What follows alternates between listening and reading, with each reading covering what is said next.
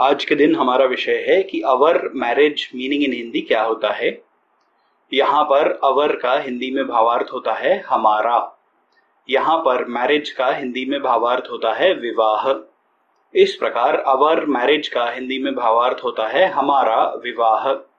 इन शब्दों के उपयोग का उदाहरण वाक्य है our marriage was very beautiful और इस वाक्य का हिंदी में भावार्थ है कि हमारा विवाह बहुत सुंदर था। एक और उदाहरण वाक्य है आवर मैरिज वॉज़ वंडरफुल और इस वाक्य का हिंदी में भावार्थ है कि हमारा विवाह अद्भुत था।